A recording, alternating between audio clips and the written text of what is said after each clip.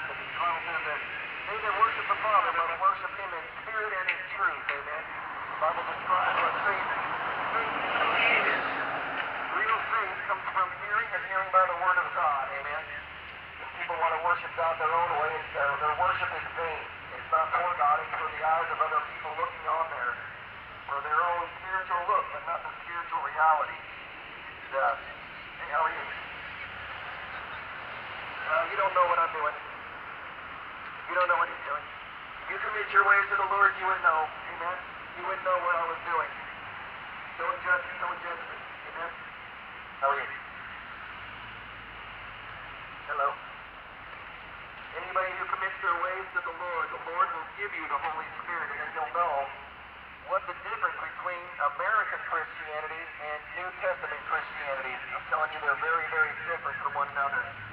We are not to get our gospel from man. We're supposed to get our gospel from God. Amen. You get right with God, and God will get real with you, and you will know the real gospel. The biblical gospel is a gospel that is revealed from heaven. Amen. We, we have exchanged the biblical gospel for a Masonic gospel, a very uh, worldly gospel, a mixture. But the truth is, is God doesn't mix His glory with anything. Amen. He doesn't mix His glory with anybody. The Lord deserves the glory for all. Amen. How are you?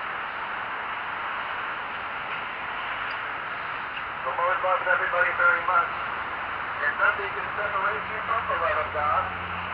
But there are many different lifestyles that can separate you from the path of eternal life. The love-hate kind of thing.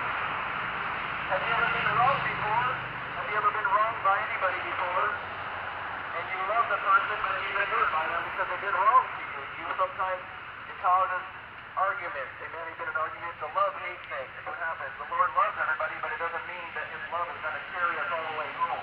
The Bible tells us that we have to obey the gospel. Amen. The real gospel is a gospel that requires obedience. Any nation that doesn't want to listen to God is opening up a lot, a lot of problems. Amen. The Lord will protect the righteous nation the Lord will protect the righteous nation, but this, this nation is not righteous anymore.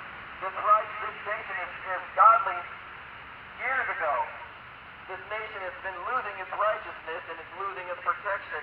And it's just a matter of time before we go through what every other nation goes through.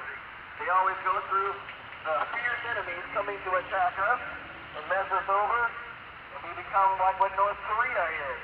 It's a socialist state is a socialist nation because God is not protecting you anymore.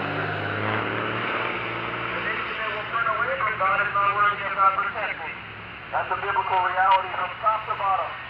A lot of people think I'm crazy, but the truth is they don't know the Word of God, and they have never answered to it. They've never even they've never turned to the real God for real. The way that God deserves to be treated. Amen. He deserves to be held in great honor. Did your God say that to tell you what to do? Amen. Some people believe in God, but their God has never directed their path. That means that He's not your God, you're your God. Anybody obeys God, they will know the Father will reveal His Son to you, and that is the biblical gospel. The real gospel is a revealed gospel. The Father reveals His Son, the Lord Jesus Christ, and lets you know supernaturally who the real, who the real Christ is. The Bible says that many are going to come and say, I am the Christ, and deceive many. The only way we'll be deceived is if we walk in darkness. Amen. And everybody's born in darkness. We were all born in sin. But let the light of the glorious gospel should come, which is the image of God, the face of Jesus Christ. The Bible says it over and over and over that the Father reveals His Son. This is the true gospel, and upon this rock I will build my church, and the gates of hell will not prevail against it. But the gates of hell will prevail against it will prevail against the gospel that we see in America. Because the gospel in America is trying to play two sides at the same time. Amen. But God doesn't do that. The Lord says, I am the Lord, I change not. Hallelujah. He's the same. He's always been worthy of obedience. He's always been worried, willing to, to forgive people who want to come to Him on His terms. Amen. People want to make up their own religion, make up their own version of Christianity, and they'll continue in sin. The Bible says that anyone who continues in sin has neither seen God or known God. But those who have been revealed to have been given a new nature.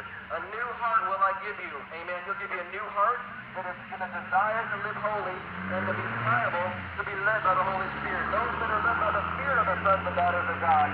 Not everybody that's got a Bible is going to go to heaven. The Bible tells you in 1 Corinthians 6 9, it's one of five lists of people who are not going to go to heaven. Fornicators are not going to heaven. Drunkards are not going to heaven.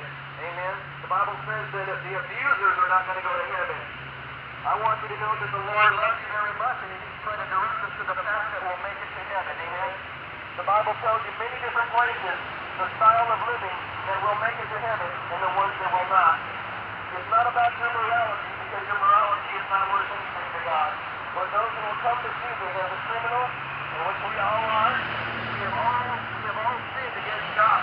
The Bible says all have sinned and come short of God. Amen.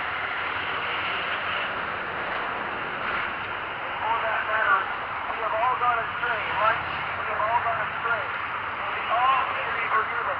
And it's not an ongoing thing. It's a one-time thing when you come to be forgiven. It's not an ongoing thing, so to speak.